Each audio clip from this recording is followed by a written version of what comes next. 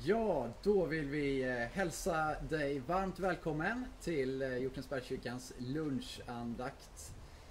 Onsdag, sista onsdagen i eh, augusti. Och vi sitter i, i kyrkans nya uterum.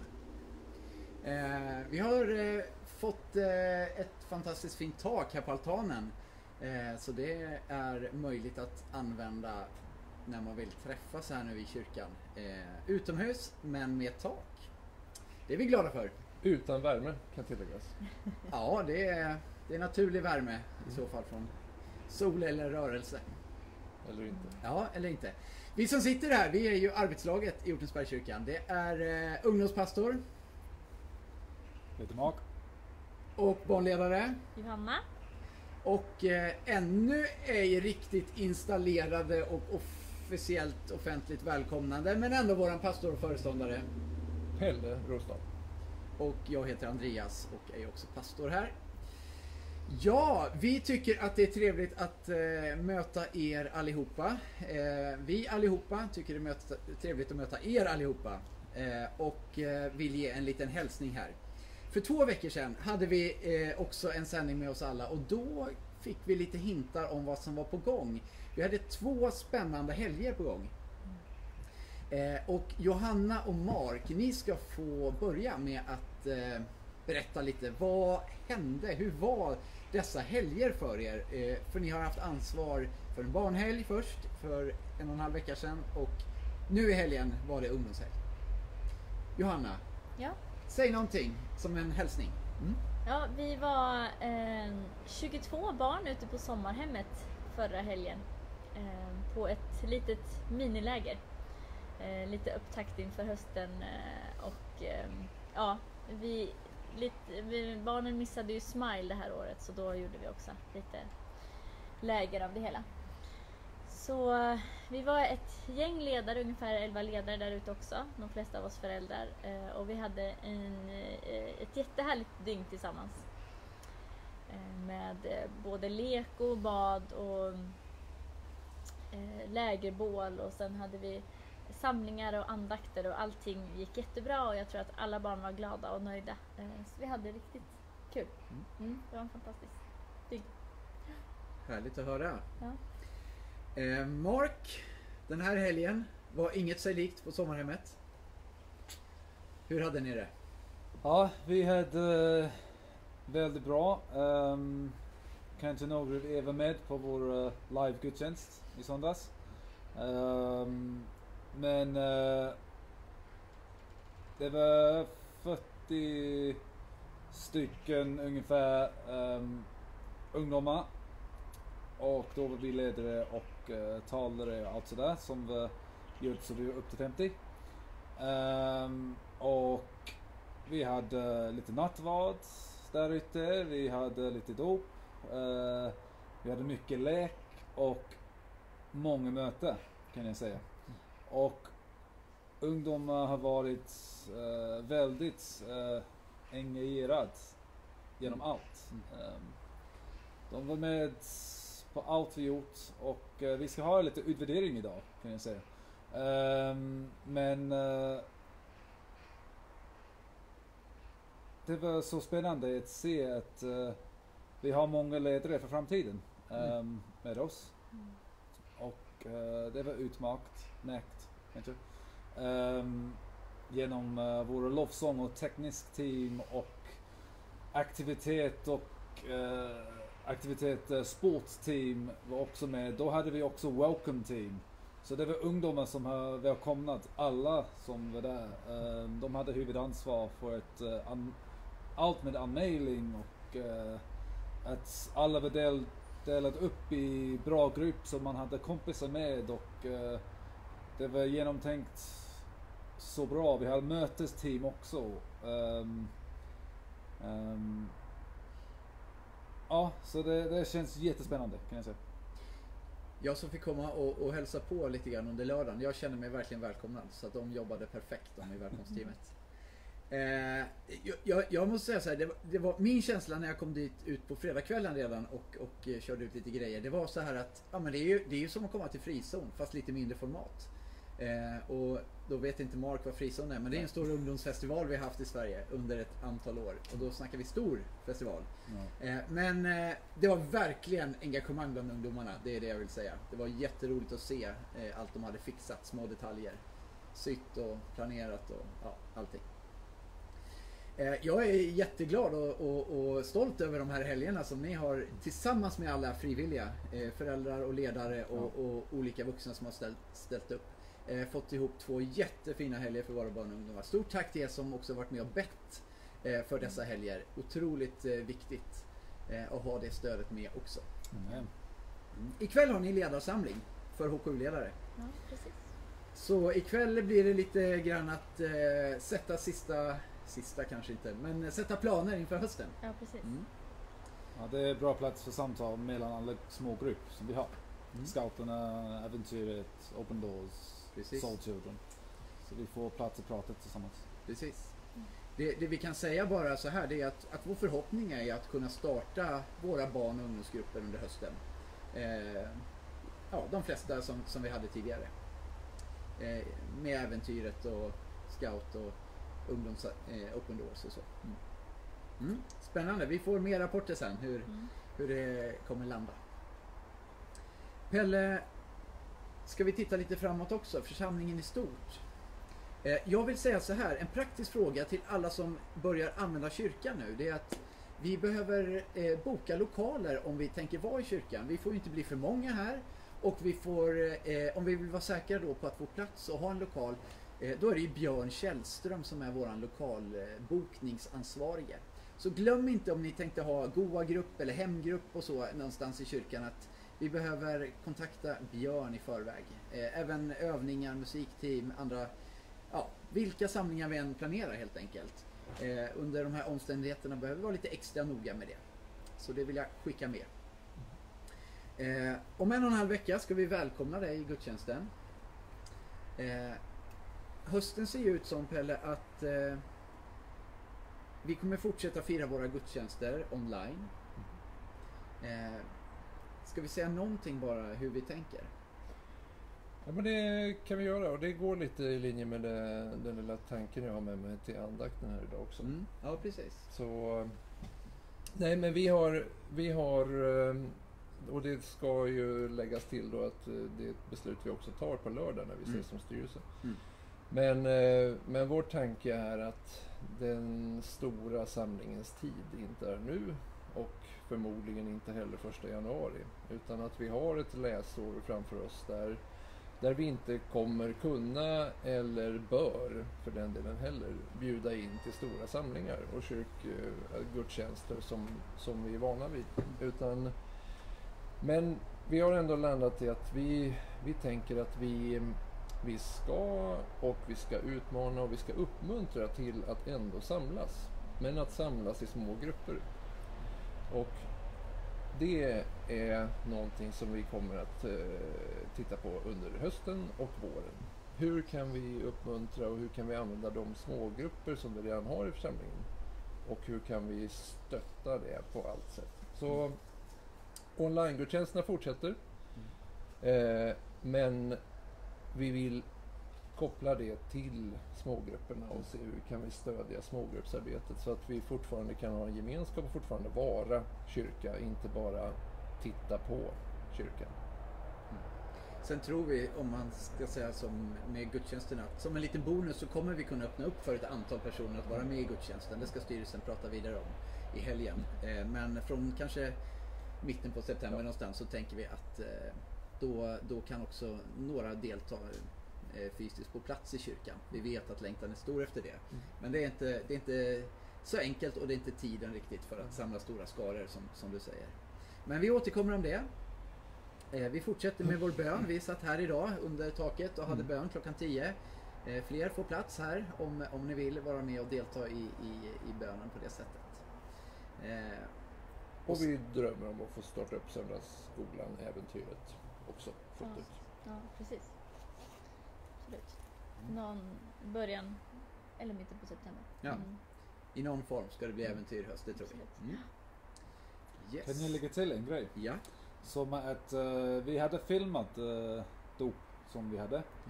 Ehm, och vi hoppas att snart vi ska, ni får också delta med den efteråt. Mm. Så det, det kommer. Härligt. Har vi något att se fram emot? Precis. Mm. Ja.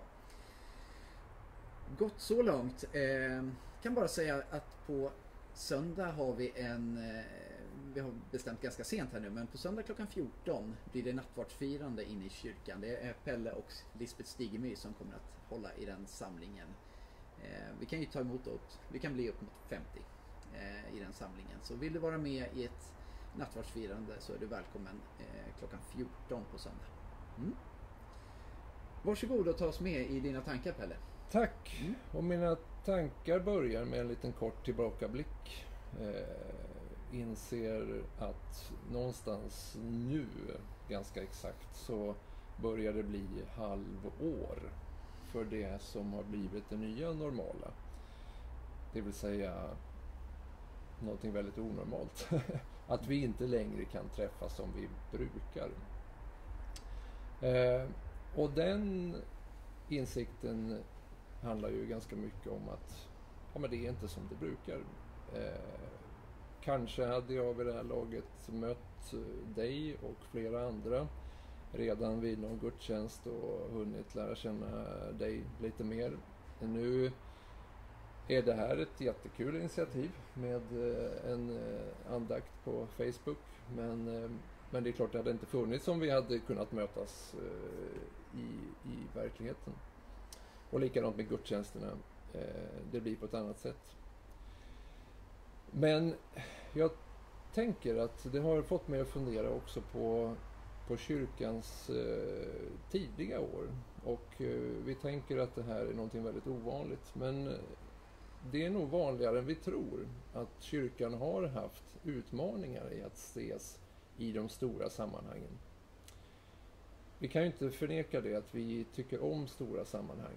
Vi eh, dras till stora grupper, vi gillar stora gudstjänster, vi gillar läger med många deltagare.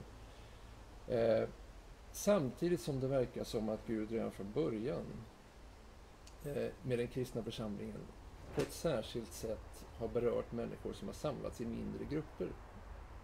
Och i mindre grupper så har man samlats av enkla skäl egentligen. Dels att man har haft svårt av praktiska skäl att samlas i större grupper.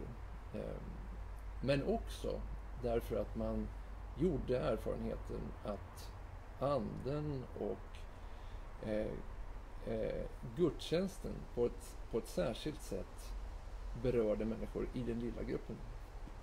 Jag ska ta dig med till en inledningen och avslutningen på eh, Romarbrevet. Eh, Romarbrevet börjar, det är Paulus brev till Rom, då börjar han med att hälsa till dem han skriver till, så säger han, jag hälsar er alla Guds älskade i Rom. De som är kallade.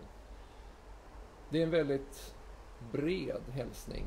Och det är kanske så vi läser Romarbrevet också, som att där sitter de allihopa och de har en stor gudstjänstsal och han hälsar till dem och de läser upp brevet. Men sen så avslutar han med lite personligare hälsningar. Och då hälsar han eh, då hälsar han till Priscilla och Aquilla till exempel, som verkar bo i Rom vid den tiden. Och så lägger han till eh, hälsa också församlingen som möts i deras hus. Och så fortsätter det med en hälsning till många eh, där han tillskriver och alla de som samlas där och alla de kring dem med mera, med mera. Du får läsa, det är kapitel 16. Eh, och läser man kapitel 16 lite noggrant så verkar det som att det framstår som att ja, men det fanns 10, 15, kanske över 20 åtminstone mindre samlingar i Rom. Där man samlades, där man då hade förmodligen nattvardsfirandet, där man, eh, där man hade gudstjänster, eh, där man bad tillsammans. Eh, och det hade naturligtvis sina skäl att det var svårt att samlas i Rom. Det började ganska tidigt en förföljelse och de första 300 åren är det en martyrkyrka som som har de utmaningarna.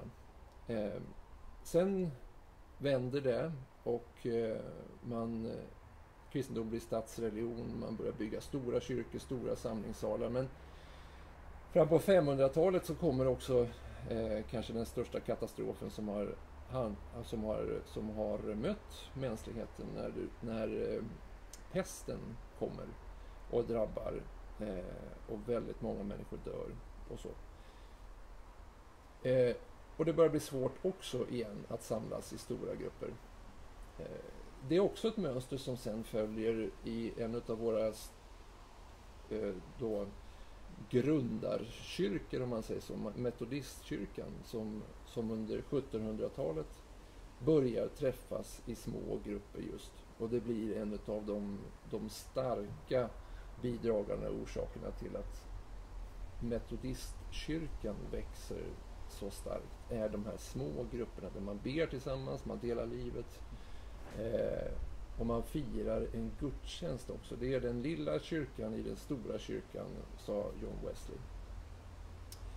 Eh, så jag, jag, som vi sa inledningsvis också, vi, vi drömmer om att tänk om vi ändå kan få vara kyrka fullt ut i den här tiden och det här året som vi åtminstone har framför oss som är begränsat till det yttre. Tänk om vi kan få utforska, utmana varandra, att överlåta oss till den här mindre gemenskapen eh, och få se vad Gud kan göra. Så det kommer att bli vår utmaning. Och du som inte har en hemgrupp, du kommer att få möjlighet att eh, bli del utav en. Eh, och det finns också många andra initiativ som vi kommer att vilja utveckla under det här året som vi har framför oss. Men det, det är något vi vill utmana till, att, att vara församling och att i den här mindre gruppen också få erfara vad, vad gör det med oss och vad gör det med det kristna livet. Eh, nu kan vi inte utmana och uppmuntra dig att komma och sätta dig i kyrkbänken som normalt, men vi vill utmana dig att bli en del av en liten gemenskap, bli en del av en hemgrupp. Eh, och erfar vad det gör med dig att vara en del i den kristna gemenskapen, att också på ett, på ett, i en liten grupp få erfara Guds närvaro och den heliga Andes närvaro. Så det är lite om våra planer och tankar. Mm. Och eh, vi tror att det finns en väldig kraft i det. Och vi tror att det kan få, få vara någonting som, som, som bär oss igenom den här tiden också. Precis. Någonstans så tror, tror jag också att, att Gud eh, redan i vintras förberedde oss utan att vi visste om det för detta. För att eh, till den stora glädjen så kunde vi i vintras märka att det startades, jag vet inte hur många det var nu, det här har ju Lisbeth koll på. Men, men det startades ju flera nya hemgrupper i församlingen. Eh, ungdomarna kom i, i början på året igång med hemgrupper. Och sen tänker jag på äventyret och, och även inom scout och så där, där, jobbar man ju hela tiden med, med de små grupperna i lite åldersrelaterat. Men, men de små grupperna, så det här är någonting som, som inte alls är nytt för, för församlingen eller för oss som kristna heller i, i, i vårt sammanhang. Utan eh, vi jobbar ju så på många sätt. Och eh, det känns väldigt spännande Pelle när du utmanar oss att vara kyrka på det, utifrån det perspektivet. Eh, vi, eh, vi är inte riktigt vana, kanske alla, att tänka så, men spännande att låta sig utmanas till att vara med i det. Mm. Mm. Det är inte jag som har myntat det, men det är ett, tycker jag, ganska bra eh, liten mening också. att gå inte till kyrkan utan var kyrkan. Mm. Alltså kyrkan är någonting vi är och det kanske egentligen förkroppsligas bäst i de små grupperna. Det finns ingen kontrast alls i att fira gudstjänst, den stora gudstjänsten, det hoppas jag inte att du hör. Utan den hoppas jag att vi kan få bjuda in till sen också, när den tiden är dags. Så är det. Men eh, ta emot Guds välsignelse. Herren beskyddar och bevarar dig. Herren låter sitt ansikte lysa över dig och visar dig nåd. Herren vänder sitt ansikte till dig och ger dig sin frid I Faderns, Sonens och den helige Andes namn. Amen. Amen. Tack så mycket att ni har eh, följt med oss idag. Eh, vi möts eh, på Youtube-kanalen för att fira gudstjänst tillsammans. Där hittar ni också tidigare gudstjänster. Mark nämnde om den i söndags. Men också alla andra tidigare gudstjänster finns ju där att ta del av. Så utforska gärna den möjligheten om du inte har gjort det hittills. Men eh, söndag klockan 11 firar vi gudstjänst. Pelle kommer predika. Och det kommer bli en intervju eh, i den gudstjänsten också med en tidigare alfadeltagare. Eh, det är Ingvarsson Lundqvist som är med och sjunger med och för oss. Så välkommen till den också. Tack för idag. Hejdå.